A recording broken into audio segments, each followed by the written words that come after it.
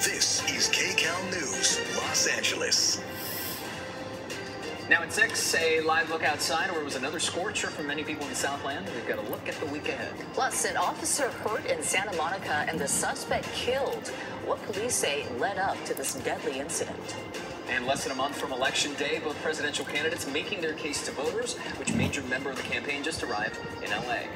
Welcome to KCAL News at 6 on CBS Los Angeles. I'm Gio Cigares. Hi, everyone. I'm Susie Sutton tonight for Leslie Marine. We're also streaming on CBS News Los Angeles. Well, it was another super hot day out there, so let's check in with KCAL meteorologist Olga Ospina. It looks like we're going to deal with this heat for at least a little while longer. Uh, yeah, so we're going to continue with this October heat heading into the early part of this upcoming work week. And uh, this is where we topped out this afternoon. So we had plenty of 90